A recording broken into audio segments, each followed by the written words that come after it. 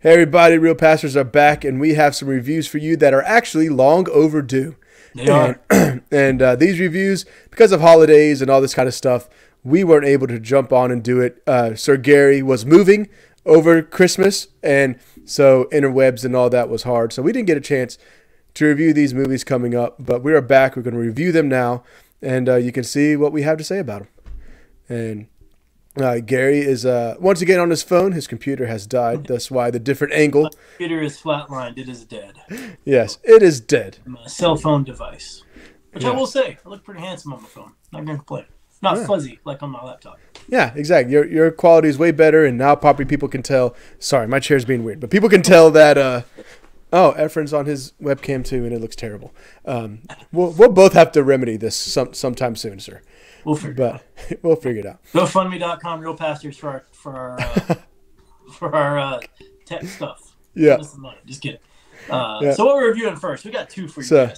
yeah, we got two for you, and the first up here is Sing Two, and because I'm pretty positive this one came out first um, than the other one, I think. But either way, so we're talking Sing Two, and um, when this came out, of course, kids saw it. The kids are like, "We have to see it. We love the first one so much. We have to go see this now." And uh, so, like it or not, when you have kids, you're watching movies like Sing 2. Um, but the thing that was good for me was the first one, like going into this, the first one I thought was pretty good. Um, it didn't blow my socks off, but I'm like, that was fun. And so when this one came out, I'm like, oh, it looks like more fun on a grander scale. So sure, we'll go watch it. And um, so we went, took the kids. Uh, we went on Christmas Day, took the kids. Grandma with us, was with us as well. Uh, got to make it a family affair and go watch this. And uh, we had a lot of fun with it and probably like we should have, like the first one. Had a lot of fun with it. It was uh, quite enjoyable. It was very much a good family flick, as uh, people like to say, a good family flick, good one to go to. And I had a lot of fun. What are your initial thoughts, Gary?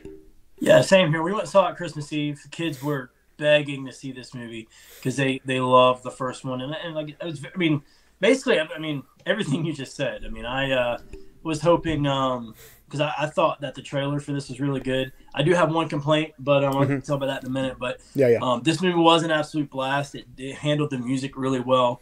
Uh, it was funny, and it was a new spin on uh, on this story. Um, and uh, I thought it was handled really well. My my only really big complaint was if you've seen the trailer for this movie, you've seen the movie pretty much. Yeah.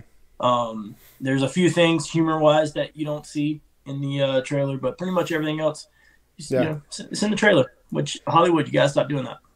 Yep. Yep. Agreed. It's one of those that like um, all the all the important plot points of the movie are in this trailer, right? Like there's certain stuff that wasn't in this trailer that that like was important to the plot, but it was like little important. Like like like it was like okay, just the things that you would need to move the plot along, and that's really about it. And um, but as far as all the important stuff, especially that second trailer, the second trailer shows you everything. Oh yeah. And and I think this would have been a lot more enjoyable for adults if they didn't do that. Yeah. Um, so I'm right there with you. That's my that's a that's a big complaint.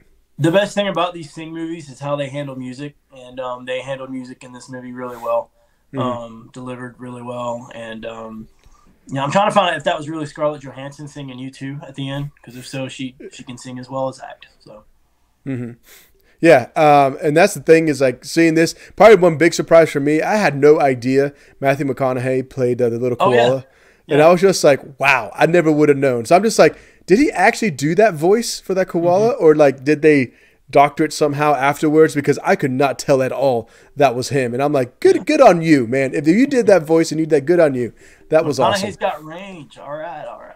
All right, yeah, and uh, and I loved it, and and this is one that like it's one of those stories for me that it, it was just fun, but it was pretty heartfelt. It was like you know like if you go after your dreams, and I love what the uh, what what they called Nana, um, but uh, you know, but her and she, when she's just like, oh yeah, th- what do you think life's going to give? You think life's just gonna come that you, bow down, and say how great you are? Like you got thrown in a canal, big whoop. Like so, what are you? Are you are you going to go after and chase it, or are you not good enough?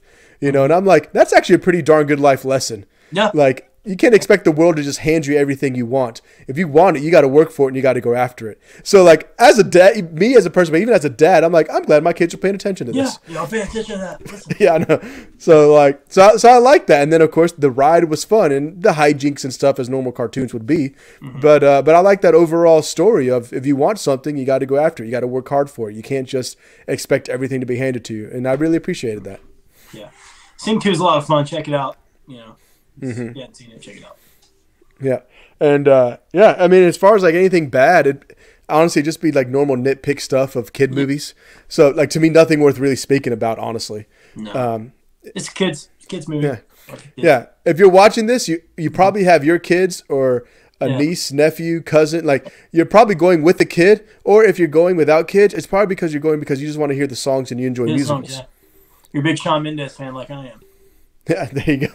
There you go. And that's the thing. Just like, well, if that's what you're going for, you like this movie. I don't know what else to tell you. So, um, what do you think, Serge? Let's go ahead and just jump into to our ratings here, Yeah, and um, because this one's straightforward. But go ahead. yeah. I mean, I give it my solid uh, hats off review of, of four out of five. You know, All right. that's uh, Yeah. you know, as a kids movie, as uh, I handled itself really, really well. I enjoyed it. Yeah. Yeah, and, and that's the thing is like when you're rating it as a kids movie, um, I think this as well is a is a is a four out of five. Thought it, thought it was a lot of fun. Um, you know, because threes would be like it was okay, but I thought this was better than the first one. I did too. honestly. And so that that for me, like they progressed. I liked it. It was fun. Uh, as as a family pick, four out of five. Um, have a lot of fun with this movie. It was great. And uh, and I'm going to tell you something, Gary. And I'm going to say something that might shock everybody here. I'm really starting to enjoy DreamWorks and Illumination, like this whole brand of uh, family movies, a lot better than I am Pixar and what Disney's putting out. Like I'm not. I'm sorry. Like I know that may make some people mad. But these movies are just giving us fun, and that's Yep. what I want. You know, I don't want existential crisis like what Pixar's pushing. you know, like I'm over it, man. Like I, I want to go with my kids and have fun at the theater. Well, they're And- staying in their lane. This is a simple story about singing animals that Yeah, and you know they're not trying to tell some grand you know a, a, agenda if you will. I don't want to get on a soapbox but yeah, i respect that that i can go take my kids to this movie and it be safe and and not have to worry about you know oh man i hope they don't pick up on that message or you know so yeah, that's off to you as it dreamworks right illumination yeah. Illumination. I think it used to be DreamWorks. I don't, I don't know how all that works. I don't know if they're the same company, but I, I just know this. You know, this from these people. All right, like well, they made the uh so they've made the Dis- despicable me right. The minions right the, the minions Yeah, And uh in the sing movies okay Yeah, and the Sing movies. Uh, now, Dream. See, that's the thing. I don't know if DreamWorks is part of them or not, because I get confused. Because when you go to Universal Studios, you have like Shrek and Kung Fu Panda and all this Yeah, stuff. that's right, So yeah. Mm-hmm. to me, it's all under the umbrella of Universal. But you know, Universal has given us the Kung Fu Panda trilogy. They've Yeah. given us the How to Train Your Dragon trilogy. They've given us Sing One, Sing Two. You know, um, they've given us the Despicable Me movies, which are all just fun movies. You know, like probably the worst of them all is the Minion movie. But other than that, everything else has just been fun. Yeah, and you're not missing much. Don't worry about it. Um, but they've been fun, and I and that's what I want. I want to go have fun at the movies, and that's why I like this one.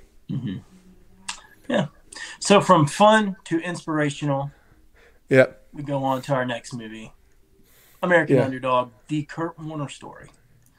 yes, I was excited to see this because Kurt Warner was. I mean, my dad's a huge Rams fan, and I was, you know, in fifth grade when the greatest show on turf, uh, led by Kurt Warner, the St. Louis Rams, uh, won the Super Bowl.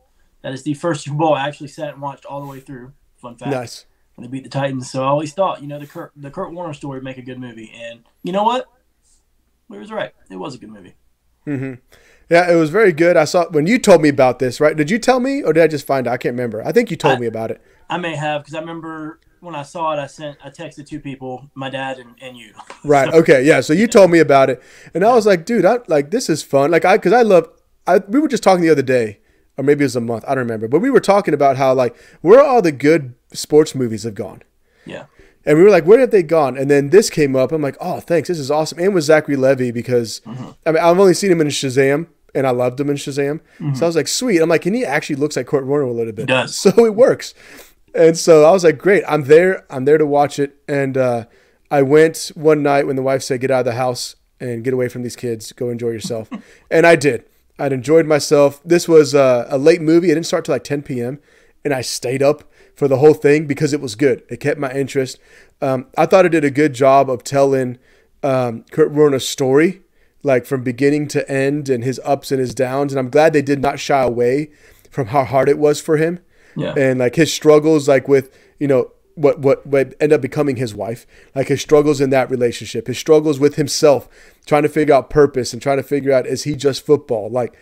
Like it, this movie wasn't just a sports movie or just him like some other ones, hey, they did great and they won the championship. Like it wasn't just about football; it was about him as the person, which I mm-hmm. appreciated a lot, and I'm glad they took that angle in the storytelling. And football was just a part of it, and I just I love the way they told the story, and I thought it was great.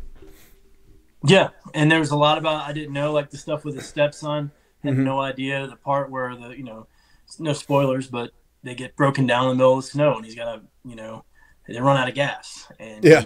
runs to you know and um and it it told it didn't shy away from stuff, and it was paced really really well as a movie. It wasn't like Mhm. you know football was kind of the background of it, you know, and and I loved how it told the story, you know, it, and things didn't come easy to him. As Mhm. far as like, I like how it explained how when he went to the Arena Football League, like Yeah, it's not something he was excited about. He thought that he, that was beneath him, Mhm. and and rightfully so. I mean, with his t- talent skill, but it also talked about how it wasn't easy to get used to at first because it was a different game, you know. And I thought those scenes were shot really well. The football stuff Mhm. was handled really well. It was just it was a really good movie. I also went and saw it at the theater uh, late by myself one night, and uh, to my surprise, sold out theater, nice. completely sold out, and um, I had to sit beside a stranger, you know. Yeah, Uh, so uh, this was um, and, and Zachary Levi just nailed it as Kurt Warner, um, you know, and uh, Anna Anna Paquin as his wife did great. Mhm. This it was just like I said, good movie. yeah. Anna Paquin, if you don't know that name off the bat, think Rogue from X Men. Yeah, right. That's who that is. Um, and I realized you said Zachary Levi. I'm sorry. I read his last name in Spanish when I said Levy. My mistake, everybody. uh, yeah, you said that, and I was like, oh my gosh, it is Levi. What am I doing? Um, Wait, anyways, is it? I don't know. I'm, I may have said it wrong. I don't know. I can't. I have no idea, but I just, I just, I do that a lot with with English words. I automatically just read them and I'll put like Spanish into it of how you would should be said. I so either way, people look at me and they're like, you can't speak Spanish and you can't speak English. What do you speak? I'm like, I have no idea. Um, but anyway, I get you. Hey, got you gotta do. But I think Yeah. you know this a movie like this, and this is what I thought leaving the theater Mhm. Could very easily be cheesy hmm and just cliche, but it wasn't. And Yeah. that's my biggest compliment to the movie. It told a great inspirational story without being cheesy, preachy, or cliche. So Yeah. that's that's Yeah. the best complaint, I, best compliment I can give this movie. Right. Yeah, because honestly, um, with you bringing that up, it's so true because when the credits rolled, I had no idea this was out of the Christian movie Yeah, realm of people, whatever studios. There we go. I didn't re- like. I had no idea. was it Pureflix? Pureflix did this. I think so. Yeah, and like I had no idea until I saw like the uh, the brothers Yeah, directed the- it, Yes. hmm and I was just like, oh my goodness. And see, and that's good because if people watch this channel, you know how learn. we feel. We know how we feel about Christian movies. Um, but I got into now. This is one that's rare. I got into this movie because of the actor, because of Zachary, and so and plus that story. Like I like Kurt Warner. Um, so like and then the fact that I had no idea, because even though they had like the faith stuff woven in there, like Kurt Warner's faith, his wife's faith, all that kind of stuff, it was woven in there. It wasn't like you said, it wasn't preachy about it. So I didn't notice. I literally just thought it was like, oh, okay. I, like I was like, oh, they're not shying away from his faith. That's cool. Yeah. Because I just thought this was just a normal movie that was made um, that just had some bad posters. Um, but this is this is the best poster, people. Wait, Yeah. This is the best one that I liked. The other ones are pretty rough. Yeah. But um, but anyway, so I, so kudos to them because this this is on the same par as Woodlawn, which I don't know if you ever watched that, Gary. That I was like. I still haven't seen that movie. yeah, but that's where I'm like, wow, like that impressed me even more that they did such a good job because I liked it anyways, and then I saw that and I'm like, good on them. That's how you should do Christian movies, if you will. It's like this. Yeah. So yeah. Yeah. Well, So all right, man. So yeah. so what uh I know we got to get into our ratings now here, good sir. Uh, Kurt Yeah. Warner story starring Zachary Levi, Levy, whatever, Anna Paquin, um, telling the story of Kurt Warner, American underdog, aptly named. What do you think, sir? What is your rating here? I'm gonna give it my hats off rating of four out of five. All right, Gary's rolling with the fours today. Rolling with four. I'm all for it today. So Yep, he's all for it. Um, he, he does that well. And then, uh, yeah, see, for me, I go back and forth. Um, honestly, I think I stay at the four as well. Um, it's just hard. You know me, it's hard for me to hand out fives. so uh, fives really got to blow me away. This blew me away in different ways, but not like a, this is a masterpiece that I have to watch consistently. But it, but, but it was very, it was good. It was very well done. Um, I thought they did telling his story well. Like it wasn't biased in any way. They just like here it is, and I appreciate that. You know how I am. Just show me the facts, and Yep. they and I felt they did that for the most part, and I liked it. And so yeah, four out of five. Uh, definitely recommend that you watch. Um, wasn't heavy handed on anything in any way. It would literally was here's Kurt Warner's story. Here's his journey on screen, and they did a really good job with it. yeah, check it out. It'll be on the shelf. It's definitely shelf worthy. And Oh uh, yeah, you know, I am very um, happy with how this movie turned out. And Yeah. Dad, go see it.